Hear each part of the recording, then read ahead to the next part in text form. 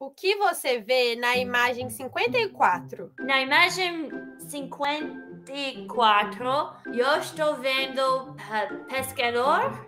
Você fala assim? A Qual fisherman. outra coisa seria? Fishman, yes. How, how do you say it? Pescador. Peixeiro. Pescador.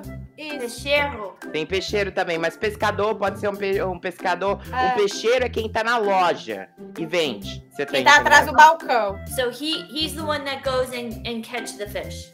Pescador. Okay. Aonde o pescador trabalha?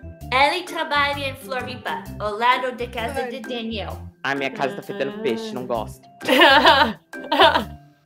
Mas o pior é que lugar que, que acumula peixe, essas coisas, fica com cheiro ruim mesmo. Também não gosto.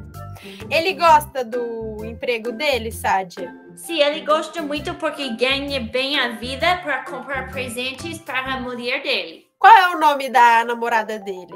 A mulher dele se chama Victoria. Entendi. Que bom que ele ganha bem. Se ele é meu namorado, que bom que ele ganha bem. e me dá presentes. Que bom que ele me dá presentes. Qual é o período de trabalho dele, o turno? ele tem que eh, acordar bem cedo.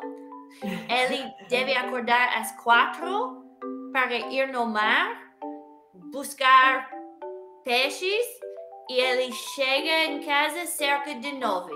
Cerca de 9 horas da noite ou 9 horas da manhã? Ele sai 4 horas da manhã de casa e chega 9 horas Não, da ele noite 9 chega da manhã? nove da manhã, 9 a.m., para vender as peixes e Daniel vai comer a peixe para almoçar.